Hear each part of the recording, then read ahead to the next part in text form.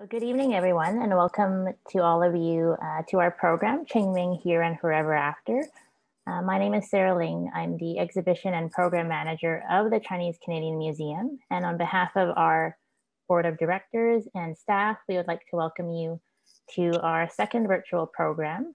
Um, for those of us, for those of you who are new to our society, we were formally established back in March of 2020 and we are working to establish a Chinese Canadian museum, uh, which will be uh, based in Vancouver, Chinatown as a provincial hub, but we will have spokes uh, around the province. And so as we continue to um, establish a footprint, we're very excited to be able to connect with all of you um, in your various um, uh, cities and, and communities. So um, do drop a note in the chat box to share where you might be tuning in from. And um, I'd like to acknowledge that we are also joined by uh, our chair of the board, Grace Wong, as well as other members of the board and our staff team. So um, a big welcome from all of us. Um, tonight, we have the pleasure of hearing from three members of our board of directors.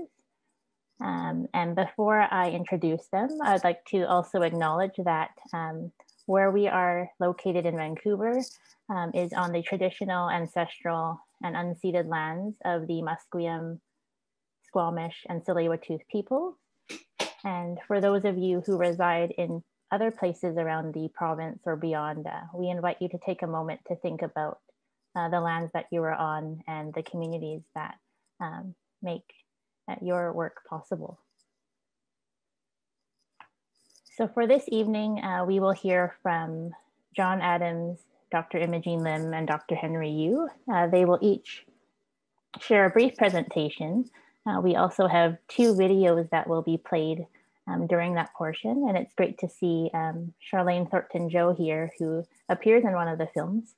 Um, and following that, there will be time for a, a Q&A. So if you do have questions, we invite you to um, type them out in the chat box and we will monitor um, that during the program.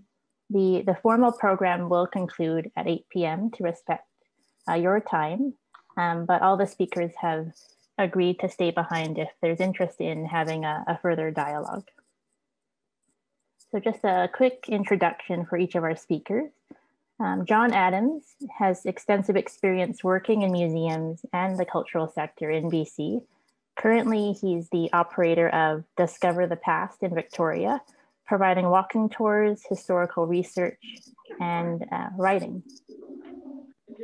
Next, we'll hear from Dr. Imogene Lim. Um, as a descendant of Cumberland and Vancouver's Chinatown, she's an anthropologist by trade. Uh, Dr. Lim's experience on Chinese Canadian communities, especially on Vancouver Island, spans well over two decades, and her work has included um, numerous collaborations with local museums. She currently teaches at the Vancouver Island University. And finally, we'll hear from Dr. Henry Yu. Um, as a history professor, uh, Dr. Yu's research and teaching has been built around collaborations with local community organizations, civic institutions, and multiple levels of government. Um, Dr. Yu teaches at the University of British Columbia and is the head of the Initiative for Student Teaching and Research in Chinese Canadian Studies. So first we will invite uh, John Adams to, to share. Thank you, Sarah, and good evening, everyone. And to continue the territorial acknowledgement, I'd like to mention that here in Victoria, I'm speaking from the traditional territories of the Lekwungen speaking peoples. I moved to Victoria in 1960, and the following year, as a 12 year old, I had a wonderful experience that still stands out in my mind, and that was to get on my bicycle and travel not too far, about 10 minutes away from where I lived, to the Chinese cemetery. My father had told me that there was something special going on that day. It was October 1961. I'd been there before with my friends. It was a, a wonderful place to explore. But what it was was a mass burial. I understood exactly what they were doing. There were 850 plus boxes of bones that had reposed in the bone house. I didn't understand exactly why they were burying them at that time, uh, or in fact, why they weren't sent back to China, which I was told had been the original plan. but nonetheless, it stands out in my mind as something that um, will forever uh, resonate with me. And I found out later, of course, that the reason for the bone house, the reason for the mass burials was that the bones were intended to go back to China. And this was very much part of the concept of filial piety. Um, uh, it's a part of the Confucian philosophy, um, a social um, hierarchy within uh, society generally, uh, in which everything has a place. And so uh, in the old days, uh, when it was all very sexist, uh, the son would obey the father. The wife would obey the husband and the younger people would obey the older people. And you can uh, translate that also to the, the, subjects would obey the emperor, the ruler. Of course, things have changed, certainly during the 20th century. And so um, it's not so male oriented, but in the old days, and the old days included uh, the uh, earliest Chinese arrivals here in British Columbia after 1858. And the idea of filial piety is very, very important the children um, obey the parents. And it's not just blindly obeying the parents, but making sure that they do what is good for the parents and to help the parents make proper decisions. And this does not end when the parents die. So filial piety continues into the afterlife as well. So a son will, of course, make sure that his parents are comfortable and provided for as they get older. But when they die, he makes sure that their gravesite is properly chosen so that the feng shui is going to allow them to repose in peace for eternity, but also to make sure that the parents and the ancestors in general are going to have the food, the money, the clothing, and all the things that they need, uh, they needed in lifetime that they will have in the afterlife. And it was traditionally the oldest son who was responsible for making sure that the parents were comfortable in life and in death. The senior wife, the first wife, might assist. Uh, concubines and junior wives usually did not. But in fact, the oldest son was to make sure that this was being done. It could be done on a daily basis, and every home would probably have some sort of altar for the ancestors, and perhaps there would be an ancestral hall in the village as well. And this was to make sure that the spirit of the ancestors, the spirits of the ancestors, had a place to stay in the home because they were very much part of the life of the living. The soul, when somebody died, would be divided into three parts. This is the theory, and although there are so many different variations, this is generally the traditional belief. Part of the soul would repose at the grave. Part would repose in the ancestral tablet at the home or the ancestral hall. And then the other part, the remaining third, would go into purgatory and would work its way through a series of different trials. And there are horrible depictions of the various chambers of hell. And depending on one's understanding of what this involves, it will involve a trial based on what one had done during his or her lifetime. And the one that stands out in my mind is the chamber of ripping out of the tongues. So if you were a gossip or if you maligned people, then your tongue would be constantly ripped out uh, when you entered that chamber. And you had to pass these various chambers and making sure that all your sins were atoned for. And you might never come out, but hopefully eventually you did. And in order to, to make sure that the, the soul was going to rest in peace, the son the male descendants would make sure that the grave was properly chosen so that the forces of feng shui would allow it to rest easily and not in a place where perhaps they were going to be disrupted. But there were two burials. The first burial traditionally was for seven to 10 years. There was no set amount, but long enough for the flesh to rot from the bones. And then the bones would be exhumed and they would be reburied in the permanent place, the ancestral burial site. And that's really where the feng shui really, really counted. And there were four times when the oldest son, who really performed the duty of the family priest, the family home was the temple, And the oldest son or the oldest male within the family would be the priest. And it was his job to make sure that at least four times during the year, the grave would be visited. Once would be at New Year, once would be at Qingming, which we have uh, just finished this past weekend. Once would be sometime in the seventh month, the ghost month, and the other time would be on the double ninth, uh, the ninth of the ninth month, Yang. Other times would be appropriate, but those are the four times when it would be very appropriate. And Qingming, the one that has just uh, passed, and people might still be observing it, um, was the most important of all, Tomb Sweeping Day, to clean the grave and to provide the food, money, and clothing that the souls of the, the dead might need in the afterlife. As times changed in the 20th century, as uh, society became much more liberal, and certainly the male dominated society um, uh, very much opened up and women uh, became much more part of this, this process. And governments changed. The, the whole concept of um, honoring the dead changed. And at one time, of course, uh, in the Cultural Revolution, it was uh, frowned upon very much. The traditions continue in many parts of China. They certainly continue uh, here in Canada and in other places as well. And I think it's time right now to look at the video that Sarah had mentioned. Charlene Thornton Joe is a councillor here in the city of Victoria, has been now for almost 20 years. And uh, she knows the Chinese cemetery very well. And I'd like to introduce the video that features her, um, a clip mostly from the Chinese cemetery that dates back to 1903 and a very brief glimpse of Charlene at the Royal Oak Burial Park as well. I think we're ready for the clip now.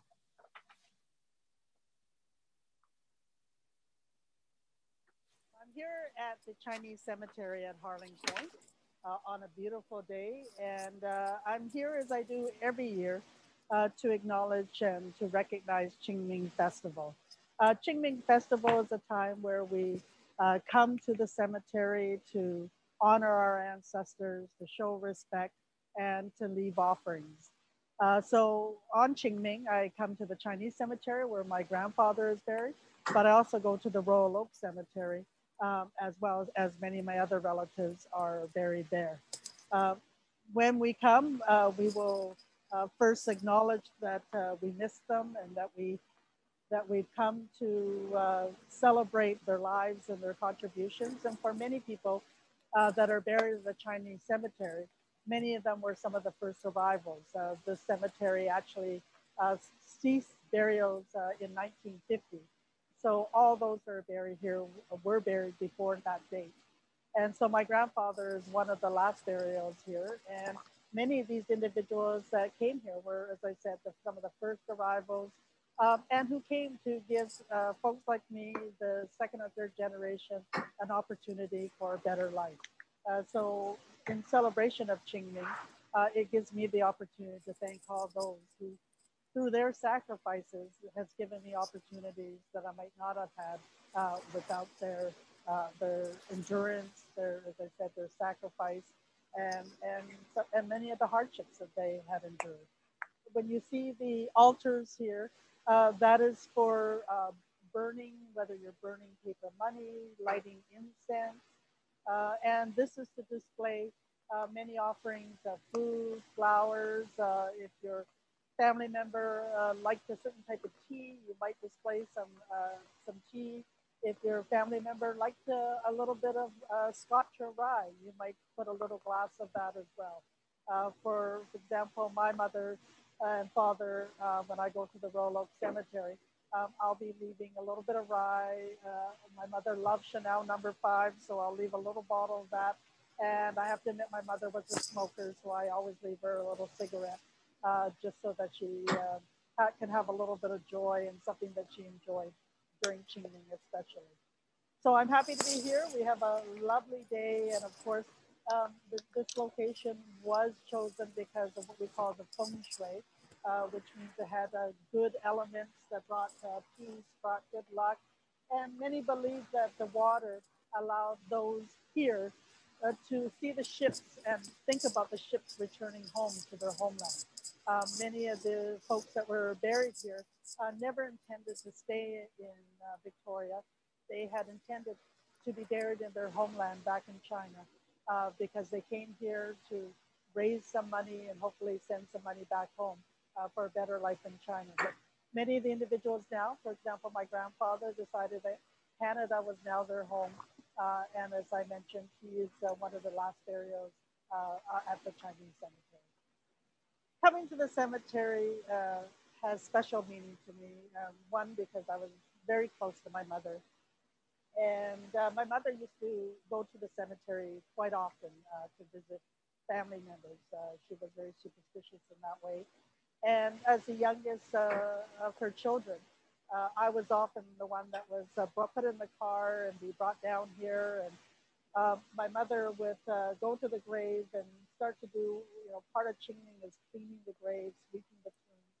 So it would mean tidying up, whether it is pulling weeds, whether it is like cutting some of the grass. And my mother would say, you know, come back in 10 minutes, and I would go and run on the rocks and uh, have a, a great time. And then I would head back to uh, where my mother was at my grandfather's grave. And it would be time for us to uh, put down some flowers uh, and to uh, show our respect. And those were wonderful times as I grew older. Um, my mother uh, then relied on me to drive her to the cemetery, and I look forward to that because of the memories.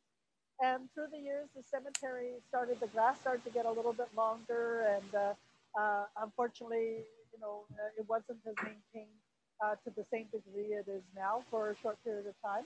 So I asked the uh, Chinese Consolidated Benevolent Association if uh, I could weed eat and, and, do the grass around my grandfather's grave. And they said, absolutely, if that's what I want to do.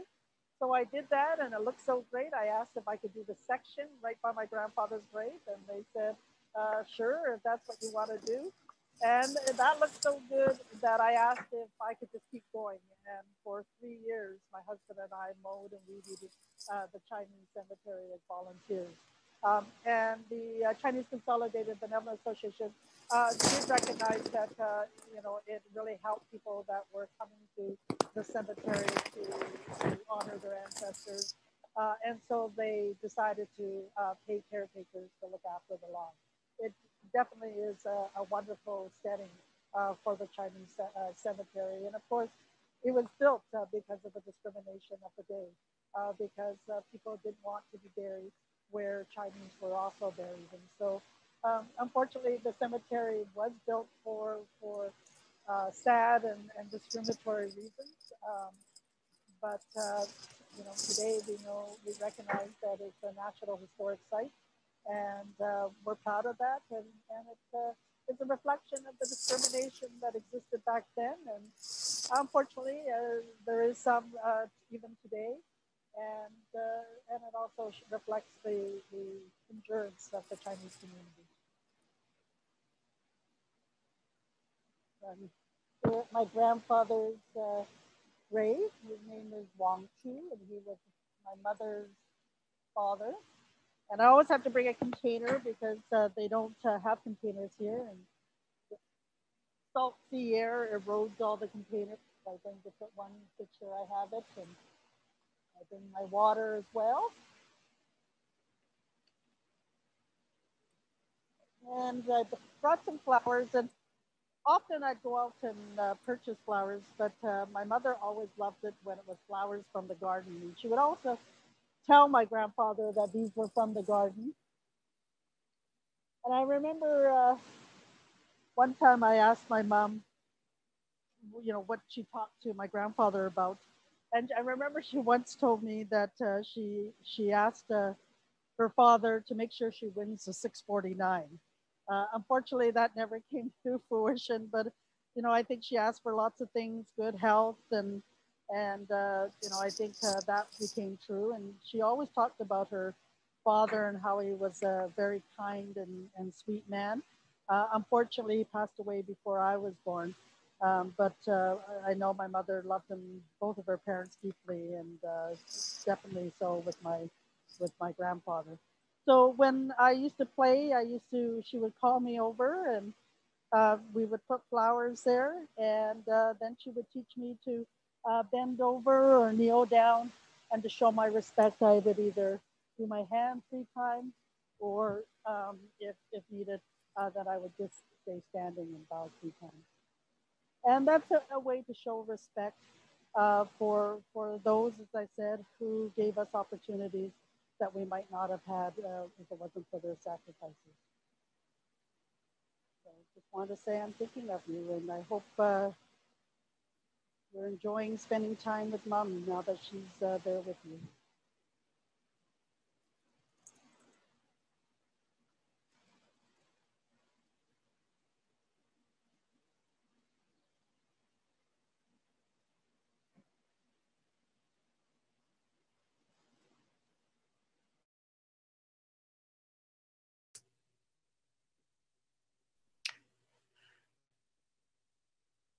A very moving uh, video uh, featuring Charlene Thornton Joe.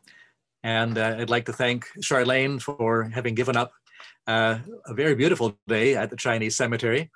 Uh, and uh, also our videographer, Derek Ford, a local videographer here in Victoria.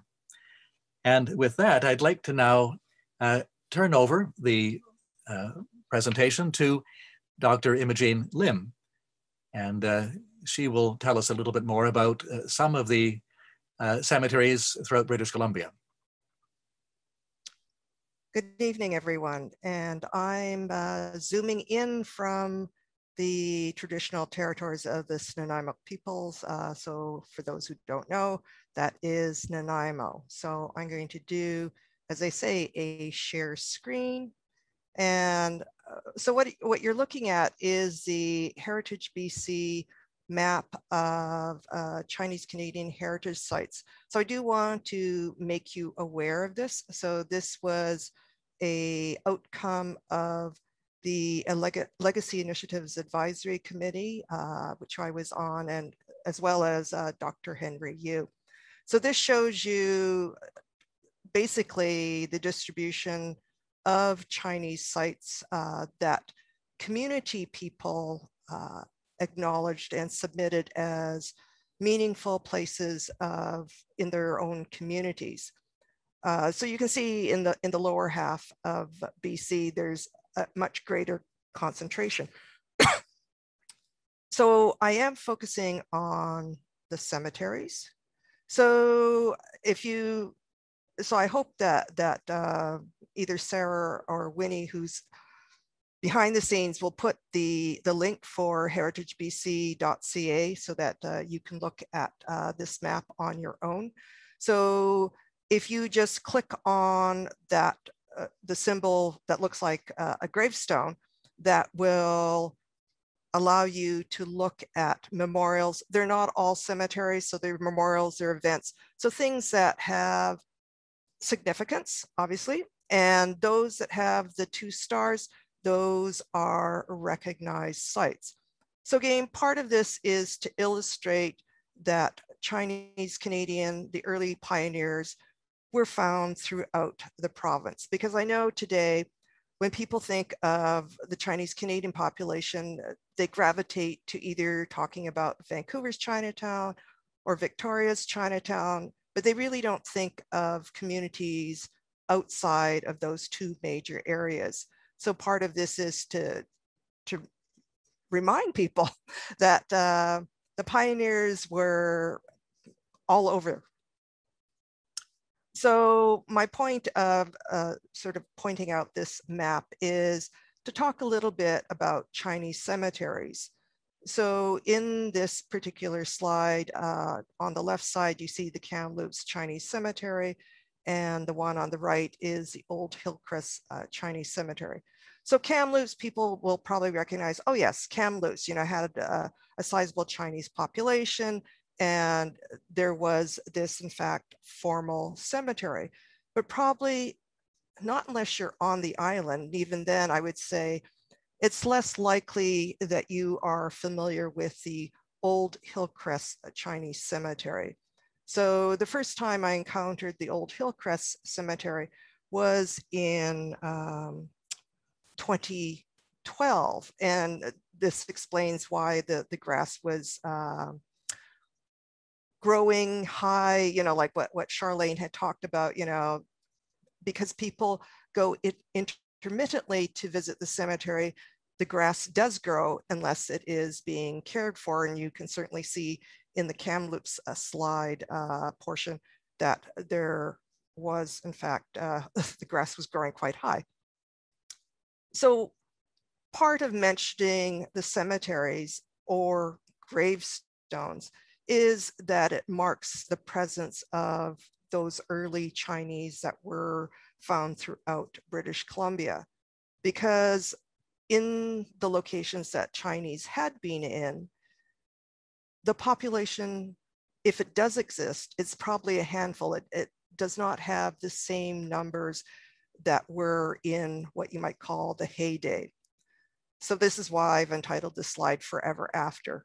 It is those gravestones that are the reminder that the Chinese were uh, working throughout British Columbia.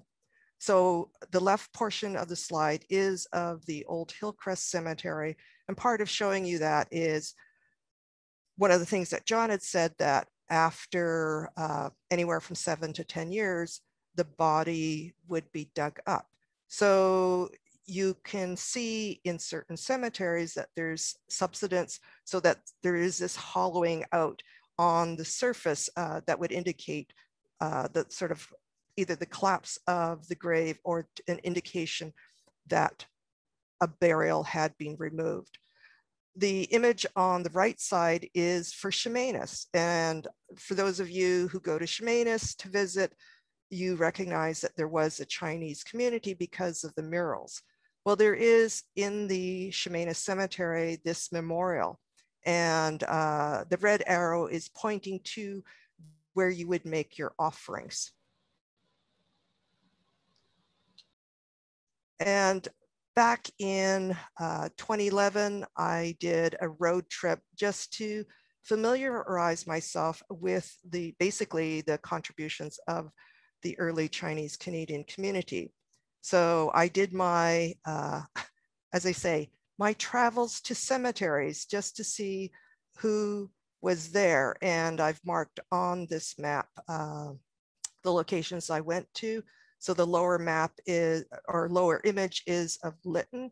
So it is a pioneer uh, cemetery. And I've noted uh, one of the gravestones of Lo Bing Cheng. And you can see that he was born in 1885, died in 1964. So, so when you look at some of these dates, you recognize that uh, the Chinese community, Chinese Canadian community was present fairly early on.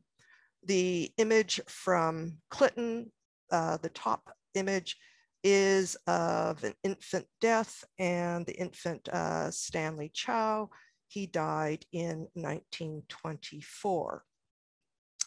And then I zipped all the way over to Revelstoke. So part of my road trip was to sort of follow the path of the CPR rail because obviously there would have been many Chinese involved in the building of the railway. And of course, people stayed behind. So the two gravestones that I have, uh, the individuals died in 1954. So for those of you who, who like to, you know, as I say, do that ground truthing, getting out there on the landscape and visiting cemeteries to see, well, you know, who, who were here. And uh, sometimes it indicates uh, what kind of uh, job they may have had or whether they died by accident because uh, lots of mining occurred. There would be evidence of commentary in terms of mining accidents. So Chinese community, as I said, here, here, and here. So I wanted to point out uh, the Ashcroft Chinese Cemetery. Again, this was part of my road trip. Uh, the cemetery is interesting in part because it is between the road and the railway. So as I've indicated, it was established in 1890. Uh, and it was actually quite derelict. And in the uh, roughly, I think it was 2012, um, a, a, service organization decided that they would uh, make improvements to the site. So you have it fenced off, you see the actual um, monument uh, acknowledging the Chinese in helping to build the uh, railway. And then I've got one gravestone and you can see that being in the interior, what the climate has done to the gravestones. So this uh, gravestone that you see in the middle for uh, Chow uh, Sioni, it's quite weathered, but some of those, those stones, the whatever was on the surface of, uh, of it was actually all dried out and broken apart from the extreme heat. Uh, there is also a pioneer cemetery in Ashcroft, and there are also Chinese buried there. And then I kind of come back to the old Hillcrest Chinese cemetery. Um, I came to know of this cemetery in 2012, and I didn't know it as the old Hillcrest Chinese cemetery. I just thought, wow, there's a Chinese cemetery, cemetery here, and it's close to Duncan. So I, I did, you know, as they say, that the search, you know, is there a Duncan Chinese cemetery? And I later found out that it was called the Old Hillcrest, named after the Hillcrest Lumber Company. And it was the owner of the lumber company, Carlton Stone, who donated the property. So I know that there are over 120 burials here. And in the sort of uh, Google overhead, the Google Earth shot of the cemetery, you can see that there's quite a number of burials there. So in coming to know about the Old, Chris, Old Hillcrest Chinese Cemetery, I realized it was actively used. Um, so one of the things that John had talked about was the Double Ninth Festival. So I had the opportunity back in 2013 to participate in the Double Ninth, the Chongyang. And it was, I was only one of three women attending. So, and I probably was, if not the youngest, the, the second youngest. So it's an indication of, and I'm not, I'm not that young. So, so it's an indication that these traditions are certainly in the area that I live in is uh, for a much older uh, group of individuals. And you can see what the offerings were being provided. So Charlene talked about cigarettes. Well, there you see cigarettes being offered. They're actually lit to ensure that the essence of the cigarettes are provided to the ancestors. They were in fact players cigarettes. So I think it's for me interesting that they're players cigarettes and the beverage of choice was lucky beer. And if you're from the island, you know that uh, lucky beer is definitely one of those for that generation that do not drink craft beer as, as many younger people do today.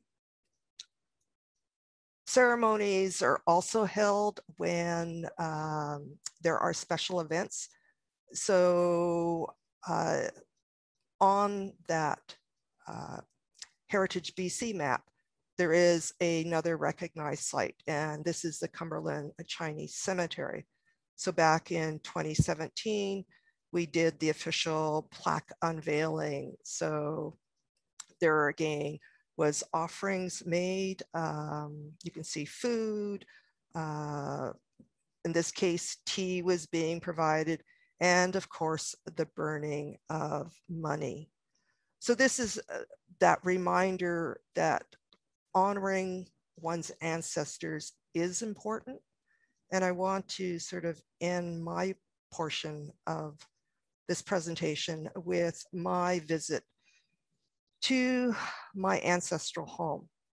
So my ancestral home is in uh, Toisan, and the village is actually called Lamukde in Gonghui. And uh, this is inside the house. Uh, and you can see the tablets and other uh, places within the house where offerings are made because you can see the little ceramic container with uh, the sand where the incense would be placed. So the home, as uh, John indicated, was a ritual place for honoring ancestors. So with that, I'm going to stop here and I'm going to pass over to my colleague, uh, Dr. Henry Yu. Thanks, Imogene. Uh, I just wanted to uh, acknowledge the where I'm coming, uh, speaking from. Um, I'm on Musqueam territory at the University of British Columbia. I live on campus. So I'm really lucky to be here, and uh, and also I'm really happy to be here with all of you virtually. Um, and thanks uh, to uh, this Chinese Canadian Museum for organizing this. Thanks to John and Imogene for for sharing a, a, a, bunch of information. And it was uh, wonderful to see Charlene at uh, Harling Point. I used to live in Victoria, and it's, it's, one of the iconic places for, for those who haven't been to Harling Point. Or, uh, it's, it's a beautiful setting. Um, uh, we're going to play a little short video with uh, that Doris Chow and Jeffrey Wong made. kind of how do you shop for the stuff you need to do to basically do Qingming. And so, um, a short little video, but uh, I think it's a, a, nice way to think about where you can go in Chinatown to uh, to get the, the things and, and what are the things you need. Uh, uh going into detail in ways that uh, Charlene already showed us when she brought things to her grandfather's grave. But uh, go ahead and play that. thanks.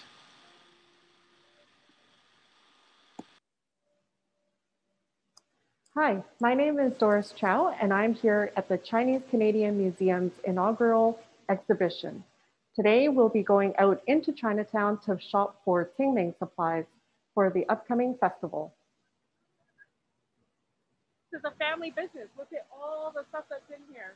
Bare minimum, you have to have candles, incense, and yunbo, so like kind of like paper, uh, money that we burn later on. So for more personalized touch for personal ancestors, we have things like favorite foods that you can burn for your ancestors in the afterlife.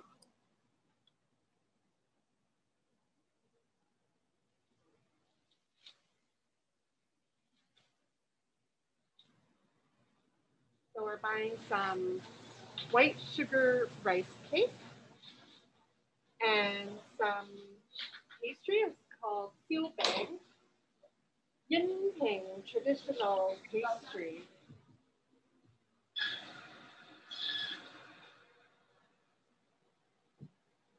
Never cut the chicken before giving it to the ancestors. It's for them to eat, not you. so now we're at Helen's floor, or it's actually City Garden floor.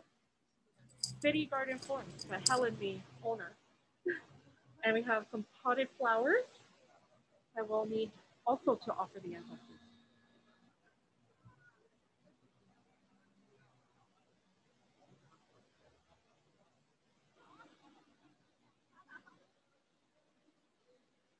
Hello, we're at the Chinatown Memorial, and uh, this will be the site of our ritual for today, but it's the same for if you're at a family grave or a uh, tomb site.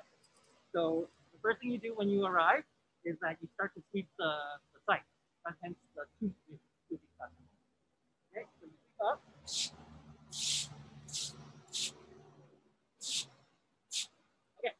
And if there's any grass that's covering the, the, the, the headstone or the monument, then you have to cut it off, but we should be good here.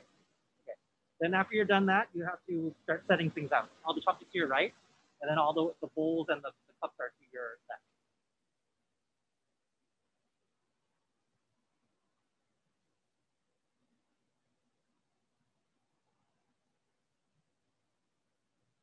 So the pork and the chicken are representative representative of the three rituals, the three offerings.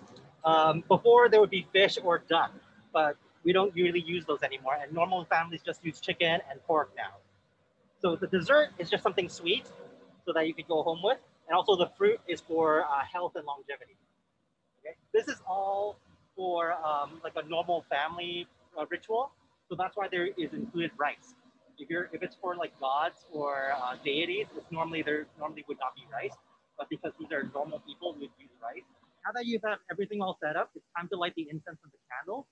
Um, the incense are to transmit your wishes up to the skies, and then the candle is to light the way. So that's why these two are the, very, the most important. Two candles is like the two porch lights, your two porch lights, the two lanterns next to your door, just to signal that someone's home. The three incense is to represent heaven, earth, and people. And so it's an auspicious number. Every time you do offerings of incense, you either do one incense, three, or um, any other multiples of three. So three, six, or nine, etc. So this is the white, the white stuff is called kaiti, the long stuff. And it's to basically bribe the guards on the road. So this is all, this is for normal guards. Uh, this stuff is also important. It's gold, it's silver, and there should be gold, gold ingots. So this is the money that they use. And this is kind of like an offering plate that they put on top. This is the offering plate they put on top. And then the rest of them are just charms that is to protect your ancestors. You bow three times and then you can light it on fire.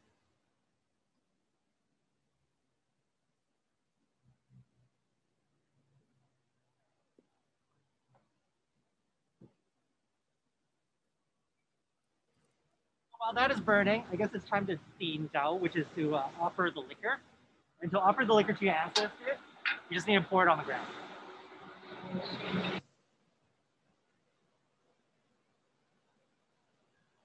So now that this is done, we could do our final um, Din Jiao to offer up the wine. And then the whole ritual is done. So just make sure your candles are burning, burned all the way through. And you could just leave the incense to uh, continue burning until afterwards.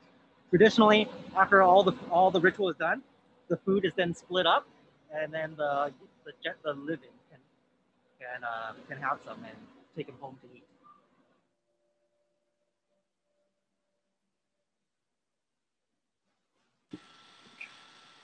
Great, thanks. Uh, thanks to Jeffrey and uh, to Doris for for taking us shopping in Chinatown. Uh, I, again, it's uh, been tough for a lot of the businesses in uh, Vancouver Chinatown. I'm sure in Victoria Chinatown, many other places. So um, I'm glad that they're able to kind of highlight some of the places for us to, to do some shopping and keep some of those small family businesses alive.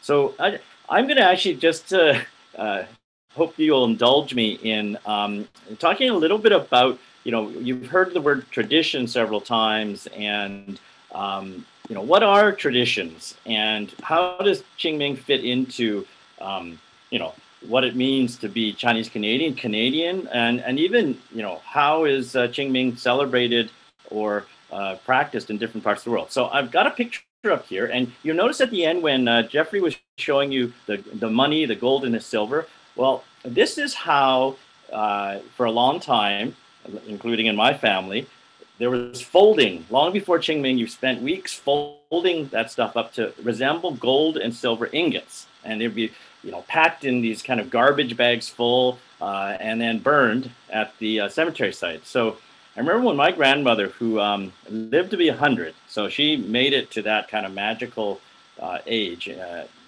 well, I remember when she was in her 90s, um, you know, we would fold the paper with her and things. And then I remember after one Qingming, uh, she just kept on folding, folding, and started to fill her room with all these uh, folded gold ingots. And uh, finally, my uh, grandmother asked her one day, "What are you What are you doing?"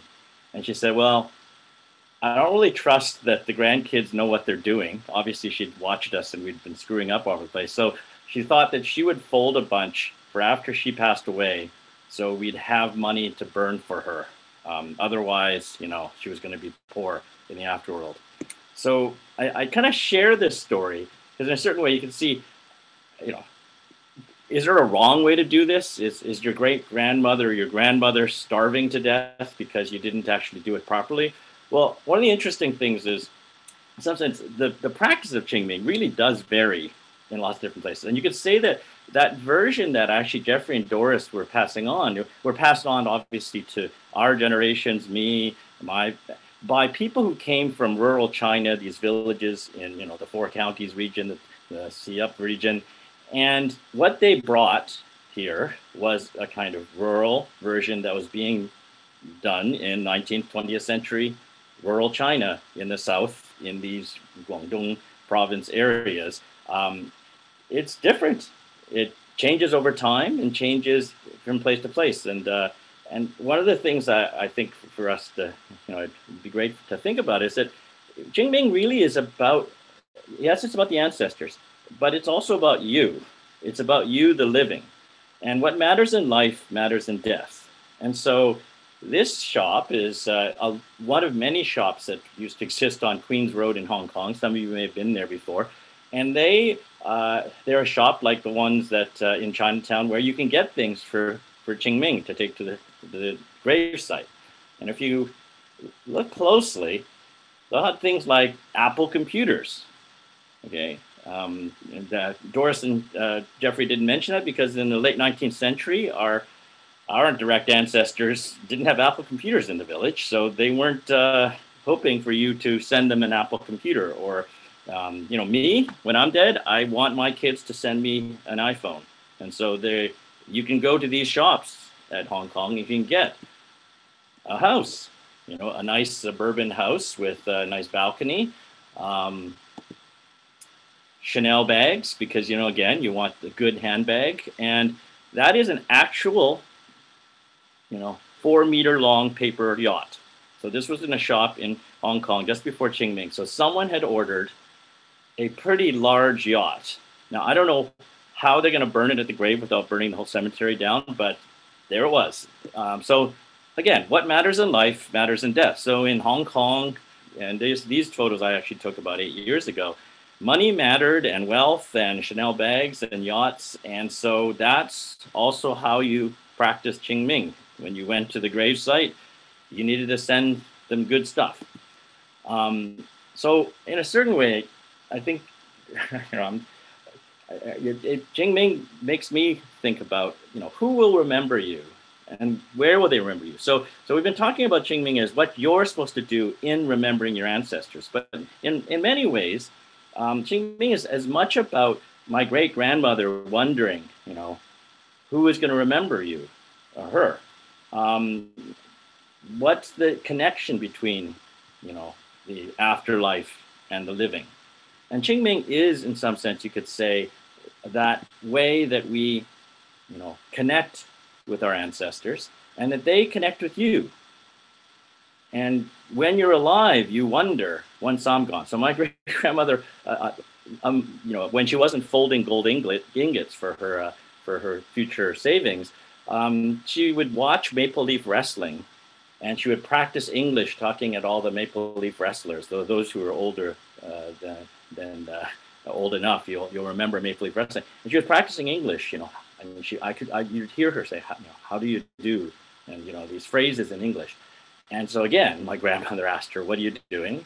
And she said, "Well, after she passed away, she was she had chosen to be buried here in you know Vancouver to be with again her grandchildren and great grandchildren and." Uh, and she knew that the people around her might not all understand Cantonese. So she was learning enough English to be polite to her neighbors. Um, and that's what she was doing. Um, wrestler talk or something. I'm not sure why she was trying to learn English from Maple Leaf Wrestling, but uh, it all made sense to her.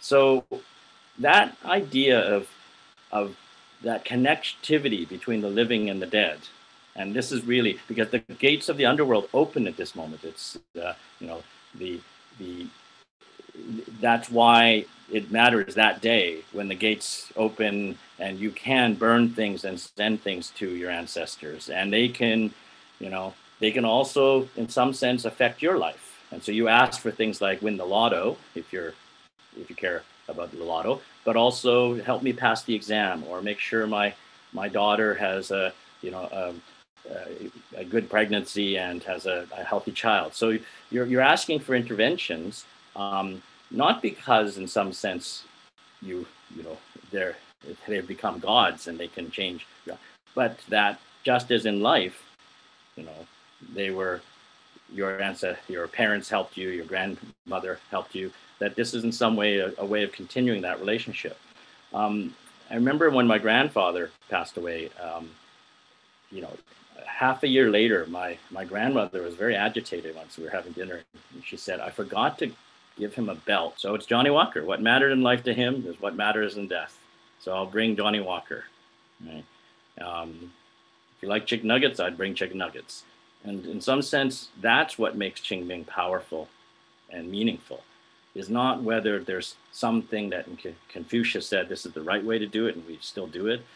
Um, that tradition, in some sense, is the things in your family, the things between you and your mother or your grandfather or whoever that you're remembering. And so, in that sense, I hope that's uh, another way that, uh, you know, as you gather here tonight and think about what Qingming means, hope that's also a meaningful way of thinking about the past and the present and the future. And maybe when you're thinking of where you're going to be buried or whether you're going to be tossed, your ashes are tossed into the ocean, um, that's a way to think about the past, the present, and the future.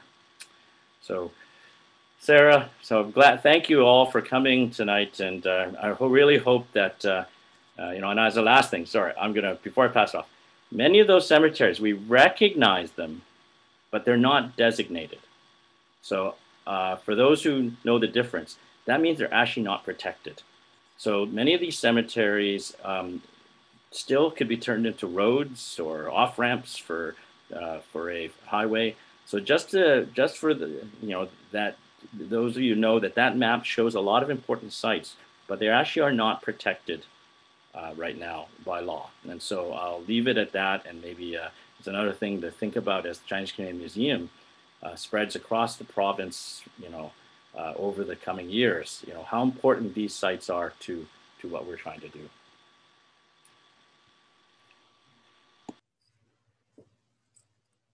Thank you, Henry, and thank you, John and Imogene, uh, for those very insightful presentations. I think um, it's, it's evident in the chat box that everyone has found this very informative. Um, for those of you who would like to revisit the resources, we have sent out a link um, and I'll, I'll, ask Winnie to share that again, uh, as you're welcome to watch those videos or share them with your networks. Um, for those of you who have to, to leave, we are um, totally okay with that as it's a late in the evening. But for those of you who would like to stay and continue the conversation, um, you're welcome to. And so I will just raise a few of the questions that I saw in the discussion. Um, first was from Lorraine, and um, any three of you are welcome to answer this. Um, but she mentions that from her understanding, Qingming is a span of a couple of weeks. If people didn't make it out last weekend to pay their respects, can they still go or is it too late? It's not too late. Uh, you can go anytime you want, and uh, you, some people would go many times. But uh, if you're just following the barest observance, it should be at Qingming. But it, whether you're a week early or a week late, it doesn't really matter. And and if you miss it completely, August, uh, the ninth, uh, the seventh month is is a good time to go because Qingming is specifically for your own ancestors. You're not supposed to worship somebody else's ancestors. But in August or the seventh month, the seventh lunar month, then that's okay. You, you can provide offerings to anybody, the ones that don't have descendants, uh, the ones that have been forgotten. And so if you miss it now, you can always catch it up later on. So I'm going to pipe up here. Uh, I don't personally celebrate uh, Qingming, but my cousin does. And as uh, Henry said, it's a relationship with one's family to the ancestors. So for any special occasion. Christmas, Thanksgiving, birthdays. My relatives would go to the cemetery because it's like that continuing relationship. So I think that's uh, the point that Henry was making is, is a significant one. So, so there's never a bad time to go to the cemetery because you're reaffirming your relationship with your relative, deceased relatives. Know, I'll just echo Imogene's point that in his, I, I you know, there's actually a time when uh, uh, you know, when I wasn't living in Vancouver and I came back from very far away in New Jersey, you know, the other end of the world, and I wasn't there in time formally or whatever. And I remember going, "Oh, I'm sorry, I couldn't get a flight." And that, my grandmother going, "Who cares? You know, just go."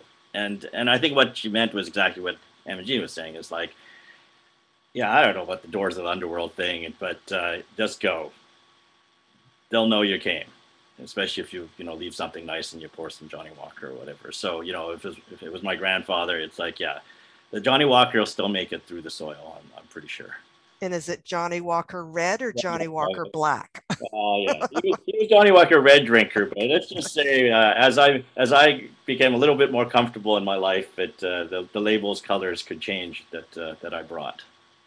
And, and you don't actually need to go to the cemetery um, because, as I mentioned, you the soul is divided into three parts, and so it, the, the soul will be at home as well. And if you don't have an altar at home, and some, some these days some people don't, uh, then uh, write your ancestor's name on a piece of paper, prop up a photograph, uh, put out something that uh, is something very appropriate to them, whatever their favorite food was, and uh, I actually participated many years ago in one family's home Qingming when they leaned out the window and poured a very small amount of Johnnie Walker outside the window. And so you can do it at home. It doesn't have to actually be at the cemetery, but Qingming is typically the time when you would do it at a cemetery. And, and, and just to kind of add on that, that, you know, back when men were very far away from these home villages and their families, um, you know, some died overseas and they they couldn't get their bones back, or their families didn't know what happened to them, didn't hear from them, or they may have died in the guano mines, you know, in South America, and, and perhaps their bodies were never made. But there's a lot of songs and stories and ideas that, uh, that for instance, uh, one of the reasons that a lot of people in some of those villages don't eat ducks and they, they eat geese, in, you know, barbecued goose is, is this, but ducks um, bring spirits back from far away, you know, when they fly fly back. And so there are lots of different stories that are almost on village level about men who are really far away, who you who get literally the family lose track of them. And so, uh, how does a spirit make it home? You know that there may there's wandering, hungry ghosts, and uh, you know lots of things that are unhappy that couldn't make it home. But also, how can you make sure that if if you have a dear relative, your your brother, you know, never made it back to the village, how do you bring their spirit back? What, what kinds of rituals can you do um, to ensure? And, and I think that anxiety that my grandmother felt about the belt, if you think about this in, in really serious terms of people being on the other side of the world, um, you know, making money, trying to help support you, and and and you know, something bad happens, an accident, and they they die um, again, if you think of all the human emotions and relationships that, that are represented in acts like Qingming and you know, creating a grave site even though the body is not there, or creating an altar to someone in your home because you know that they've gone missing. So, so again, uh, there's there's a lot of ways in which a relationship is the key. Great. The next question is for Imogene. Um, did you find many headstones with Chinese characters only? Well, I think it depends on which cemetery you go to, and and sometimes uh, you know I've I'm going to give an example of a, of a the Nanaimo Municipal Cemetery. So there is a Chinese cemetery in Nanaimo, but within the Nanaimo Municipal municipal cemetery, there are some that are Chinese. And I remember being in the cemetery with, I guess I was with a tour and, you know, they, they let you loose and you're sort of wandering up and down the rows of, of the gravestones. And I walk by one and then I step, I did that sort of backward look. It's like, wait a minute, there's something here because it was for Charles Allum, A L L U M. But I saw the lim characters you know like i don't read a lot of chinese but i know when i see my surname so i immediately took a took a closer look at it and so there is that thing for chinese you don't as a sort of honorific you don't just say hey lim or hey lum you would go alum right so this is how it got incorporated into a name. So by looking at it, it would appear to be an Anglo name rather than a Chinese name. So if you just had Lim or Lum, it would be clear that it was Chinese and also with the, the characters. So depending on where you are, especially some of the older ones, uh, so like the old Hillcrest uh, cemetery, much of the, uh, many of the gravestones are only in Chinese. And so depending, like I said, you can go to different places and you might only see Chinese or you will see English and Chinese. So it's it's a mix.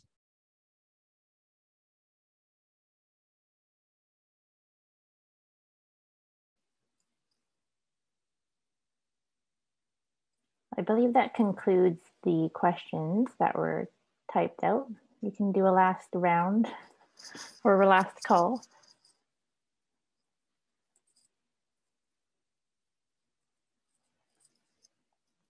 If not, uh, is there anything else you would like to share, John, Imogene, Henry?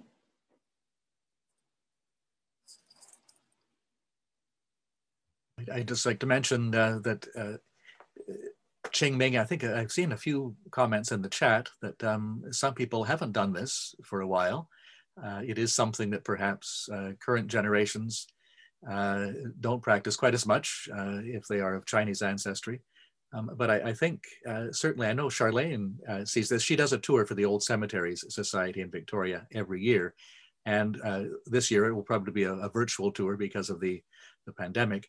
It'll be the, the beginning of May during Asian Heritage Month. Um, but, but each year um, when we were doing that tour in person, many people came and they said that they were coming because they wanted to reconnect with the old ways of doing things that their family hadn't done for a long time. And so each year I notice at the Chinese cemetery, which is a closed cemetery, there are more and more offerings made. And so um, I, I, think that that's one thing I'd like to mention that it is something, uh, to Henry's point, it, it is something that is for the living. And if it is important, uh, then it's, it's never too late to begin. And I'll, I'll, echo what John just said, actually, again, that, you know, uh, you know, my kids, uh, they don't do it the same as I did it. Uh, you know, they'll they'll uh, uh, kowtow or, or, or bow three times, and we do that. You know, it's like a picnic. You know, we've, we've made it kind of fun. We're there. It's a beautiful view. We've managed to be up over in uh, Forest Lawn in Burnaby.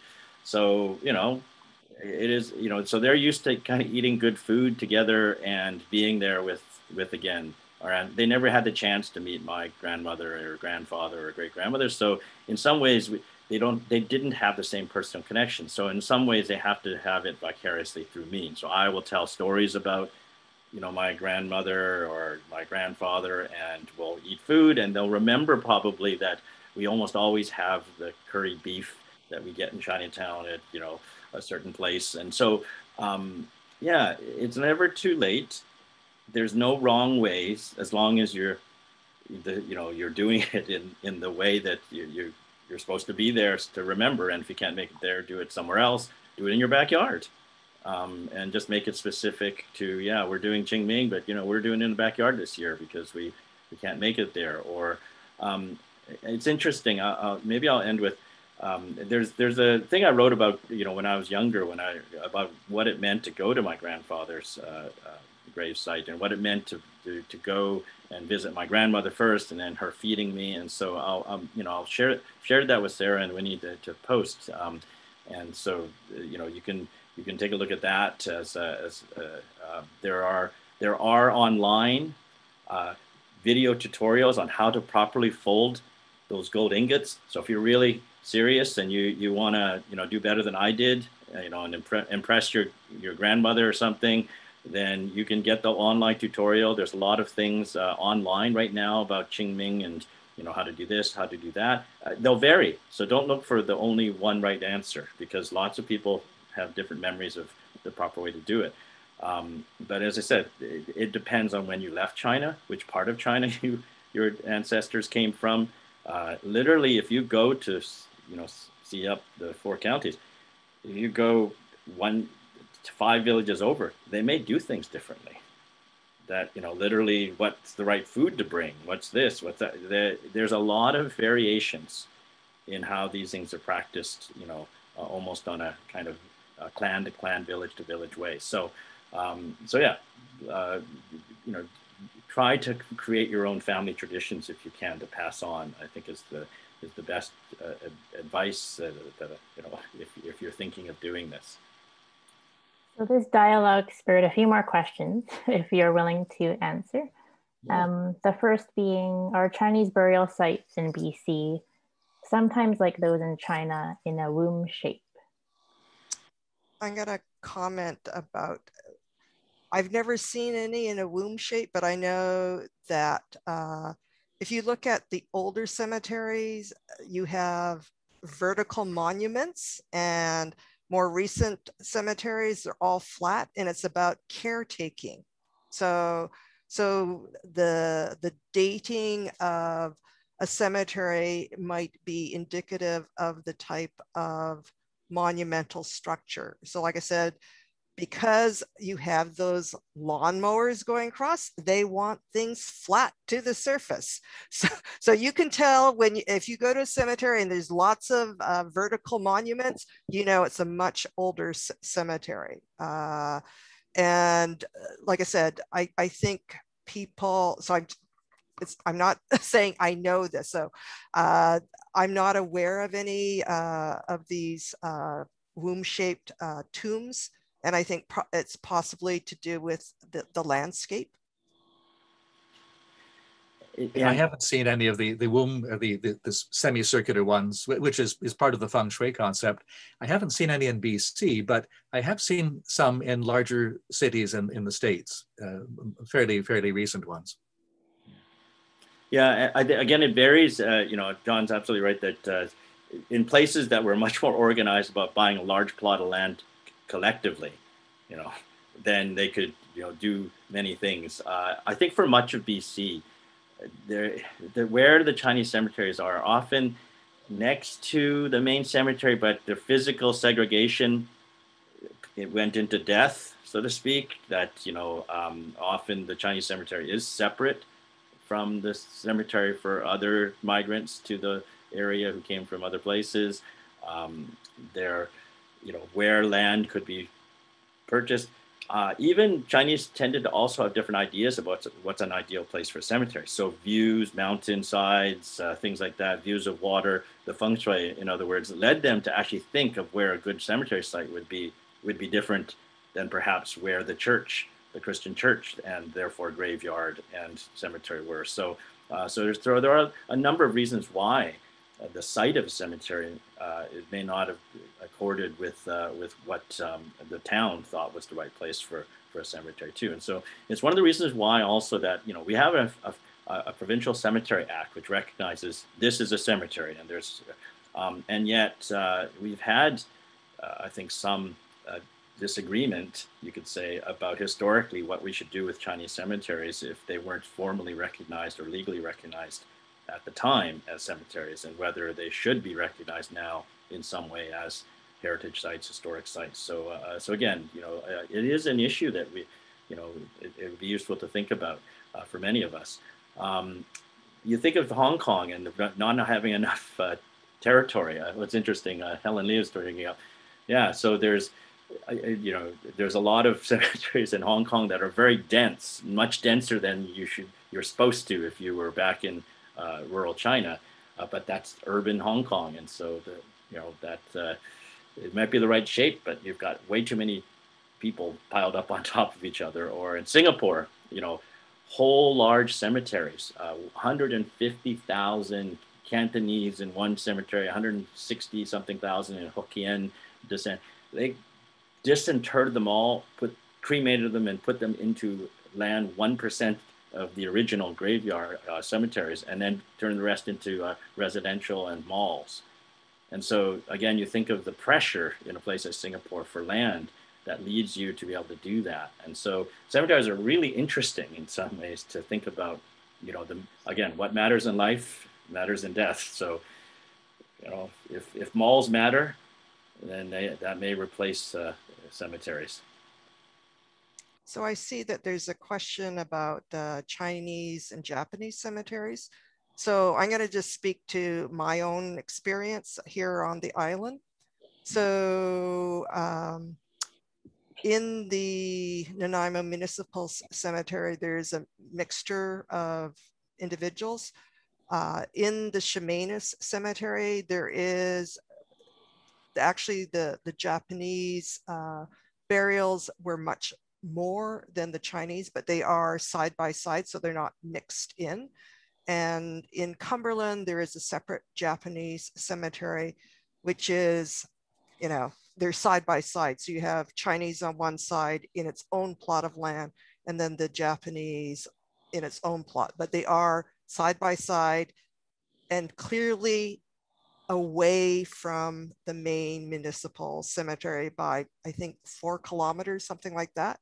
So the one thing that I will say about the Cumberland Cemetery is it is on a slight rise. I would say it has good feng shui because you actually see the water. And uh, I'm thinking like the Hillcrest Cemetery, it's again slightly on a hillside, and you just sort of look out into this very somewhat pastoral setting. So, uh, you know, what Hannah was saying about the sort of perspective that you get, the viewpoint, I think when you when people had a choice in purchase, it did matter.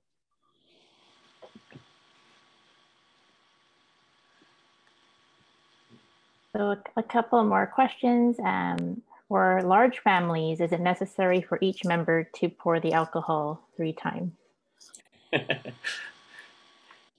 Again, you know, and John, I think might have mentioned it, right? Is that back in the day, whatever that day is, uh, you know, there's the, the oldest male son would be responsible for certain things, um, and that was the right way, and other people didn't even touch anything, and uh, but again, that's uh, that doesn't have to hold. It doesn't hold anymore for most places. Um, if you feel like everybody should pour a drink, then then go ahead. If you if one person who you, know if one of you used to drink with the person, you know, and that's the that's the person who maybe should be the one to pour and have a drink with with them. Um, so it is kind of interesting. Uh, I'll, I'll, tell you a story of uh, a, fa- a family friend who uh, let's just say the the man liked to drink, and uh, his wife was never enamored of his love of drinking. So she pretty much refused after he passed away to be taking alcohol there. And so literally there had to be a kind of shadow Qingming where one of the sons would go separately by himself and uh, and share the alcohol with dad. Um, so you know, as in life, as in death, sometimes that uh, that little arrangements and uh, resentments carry through, and uh, again, that's life, um, so to speak. So, so I would encourage you to, yeah, if if it's, it's going to take way too long to pour everybody for everybody to pour alcohol, then don't do it, because especially if it annoys the kids, you know. So I think we'll conclude with um, a more lighthearted question to John. Is your book out yet?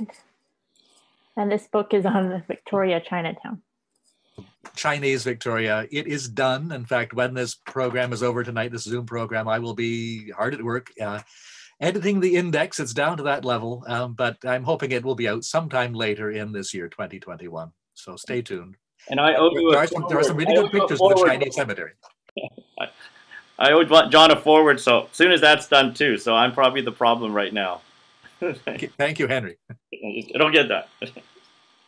we look forward to your book, John. Um, Richard has squeaked in one more question, which is for Imogene.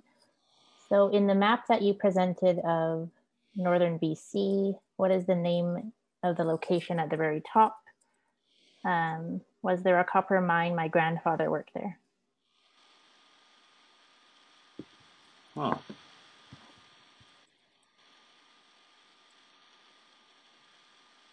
Oh, you're on mute, Imogene.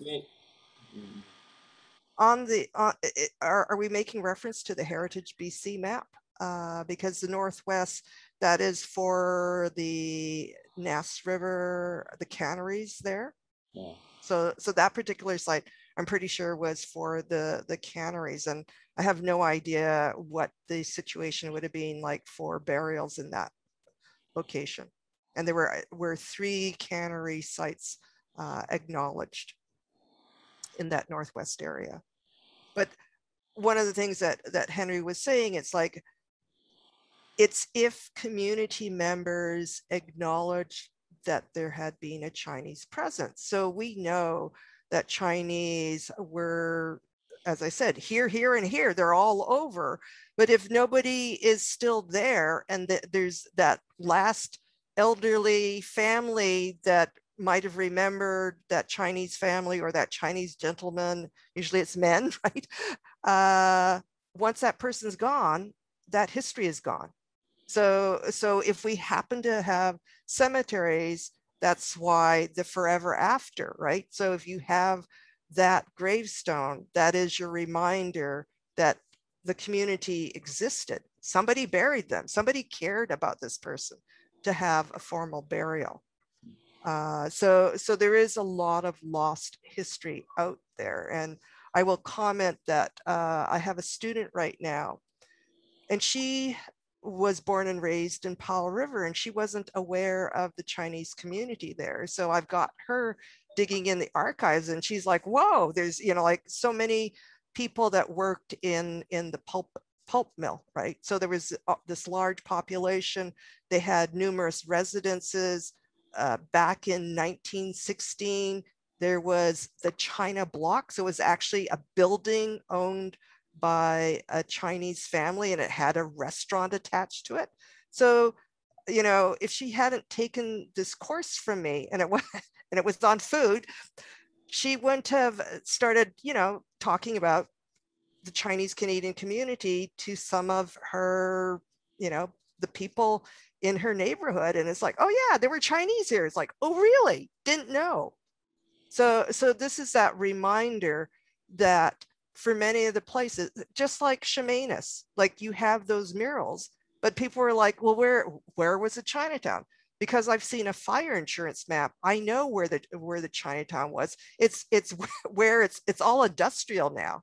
So there's nothing there to see, right? And it's the same with with Duncan's Chinatown. It had a vibrant Chinatown, but it it got through uh, it got plowed under because of the expansion or um, revitalization of a roadway, right? So, so a lot of uh, revitalizations allowed for the destruction of Chinatowns because at that time, Chinatowns were viewed as blights on the landscape.